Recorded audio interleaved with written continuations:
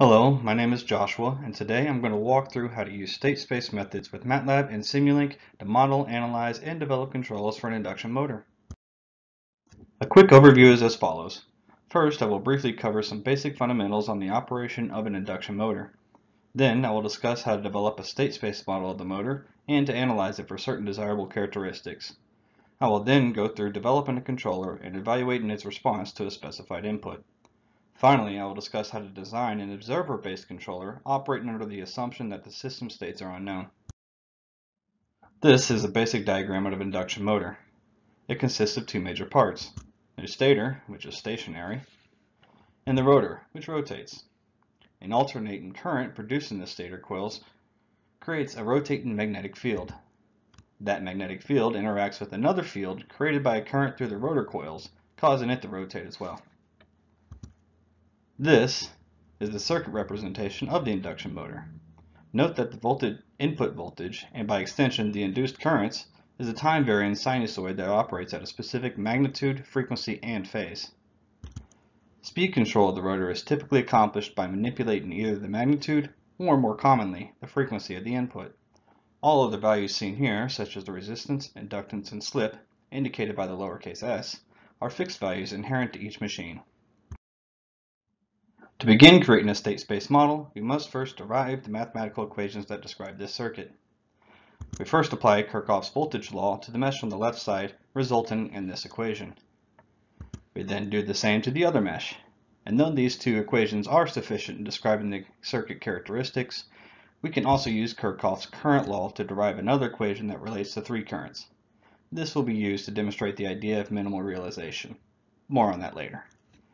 The next step is to define our states, our input, and our output. As shown here, the currents in the circuit were defined as the states of the system.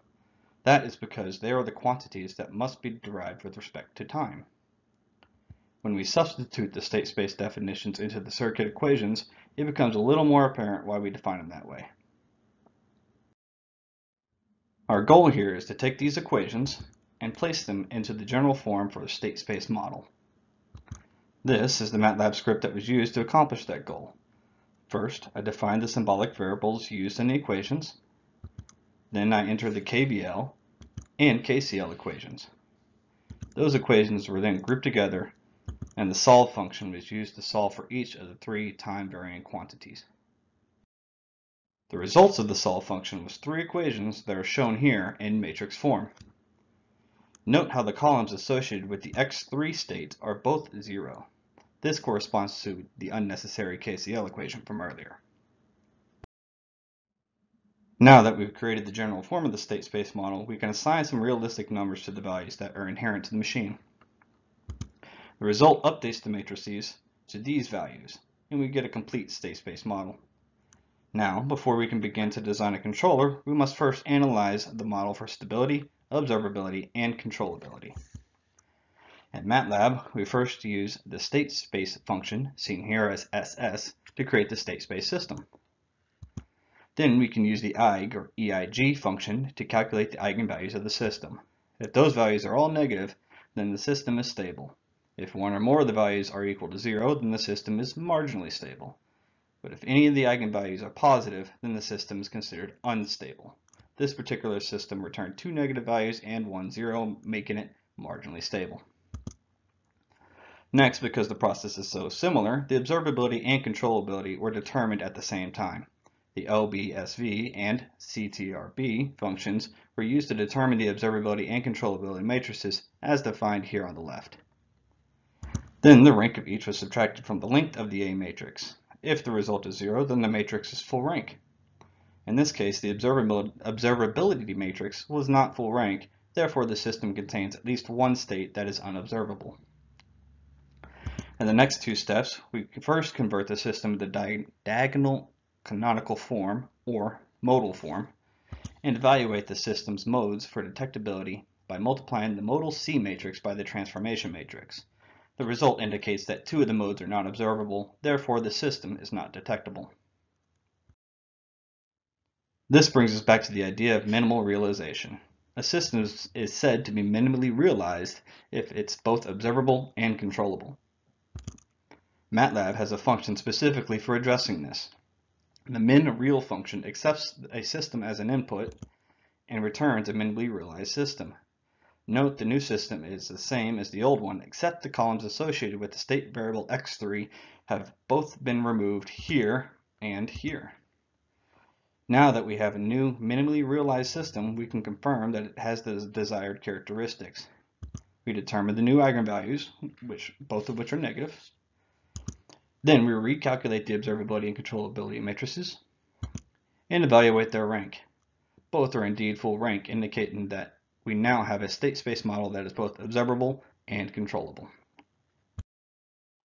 Here we have the Simulink model of the open loop system and its response to a step input. This line represents the input to the system, and this one the output. As you can see, the system's response slowly makes its way to an asymptote that falls well short of the input signal. To adjust the response of the system, we design a controller. Shown here are the dynamics for a state space system with both feedback and reference tracking. The significance of each will become a little more apparent in a moment when we review the system response.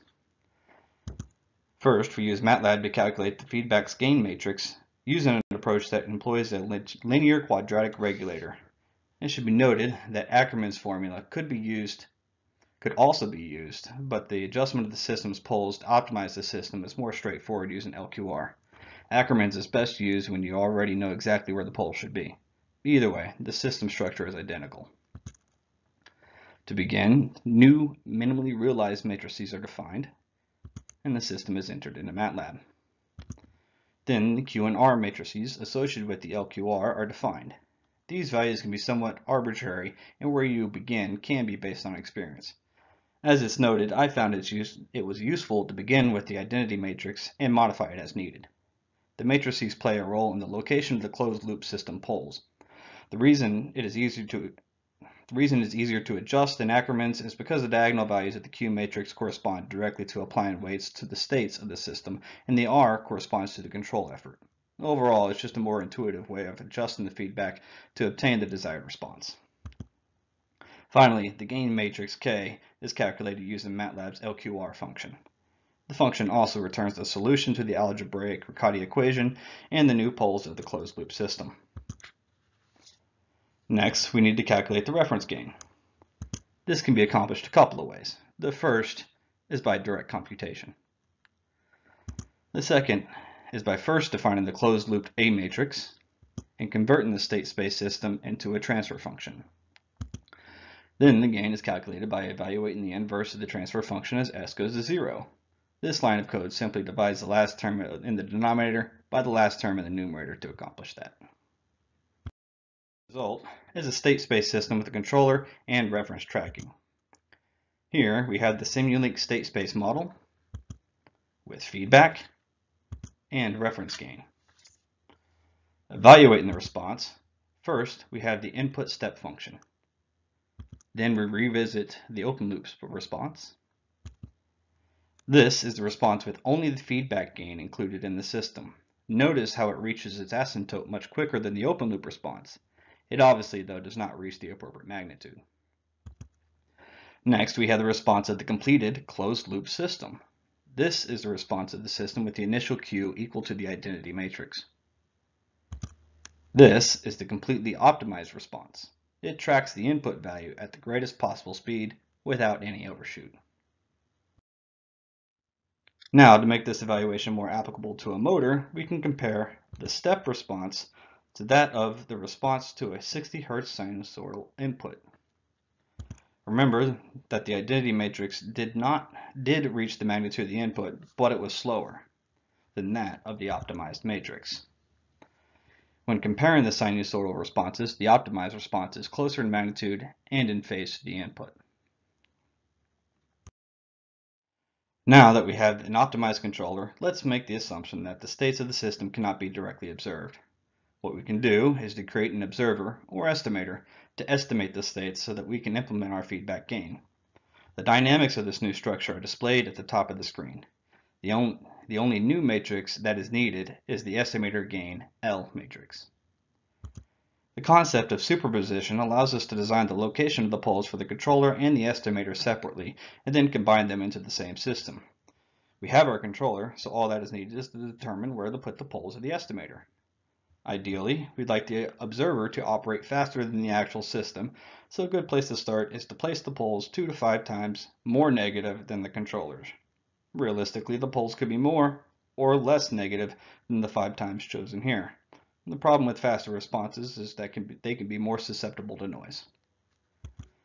Once the location of the poles is determined, the place function is used to calculate the estimator gain.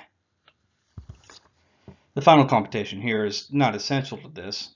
It simply uses the new system dynamics to calculate the reference tracking gain to see that it hasn't changed from earlier. It's just included here as sort of a double check on work that's been completed. Plotted here is the optimized system's step response to both the observer-based controller and the directly controlled system. Note that the response is identical. If we evaluated the estimated states of the observer with the actual states, we see that the estimations are also identical to the actual states. This means that our observer is working perfectly. To summarize, we began with an induction motor we evaluated its electrical characteristics to create a state space model. We then analyzed the characteristics of that model to obtain a stable, minimally realized system. The open loop response, system response to a step input was observed, and a controller was designed to obtain the desired response.